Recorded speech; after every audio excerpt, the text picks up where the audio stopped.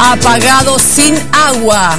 Después de cinco días de incendios, los bomberos lograron controlar las llamas en el valle de Calamuchita. Desde anoche hay guardia de cenizas, mientras siguen esperando las precipitaciones. Quedan focos activos en Tras la Sierra.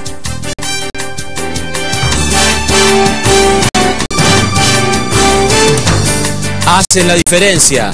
Desde el próximo lunes, el boleto de los colectivos diferenciales aumentará de 3 a 4 pesos con 50 para quienes pagan con cospeles. Con tarjeta costará 4 pesos. Por otra parte, la semana que viene llega al Consejo un proyecto del intendente que prevé un aumento en las tarifas de taxis y remises.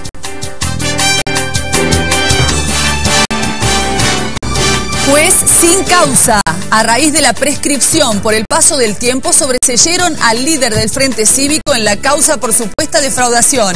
En la denuncia presentada por un exfuncionario de la Sotista, se lo acusaba de ejercer la abogacía mientras tenía un cargo en la dirección de vialidad. Se blanqueó poco la presidenta Cristina Kirchner anunció que se declararon bienes y dinero por una cifra equivalente a 4.300 millones de dólares. Es solo el 3% de lo que los argentinos tienen fuera del sistema financiero.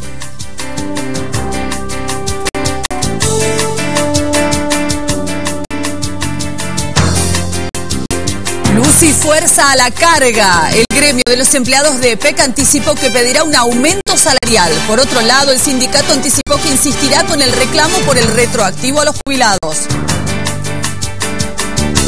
Fuera de pista, campeón olímpico de ciclismo Walter Pérez denunció que fue detenido y golpeado por efectivo de gendarmería en una autopista del Gran Buenos Aires.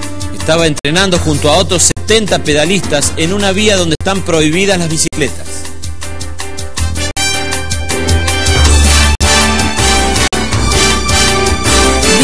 Celeste y blanca. A las 9 de la mañana comienza la venta de entradas en Rosario para el partido entre Argentina y Brasil.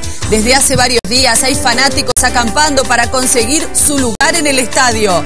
Maradona todavía no definió quién acompañará a Messi en ataque.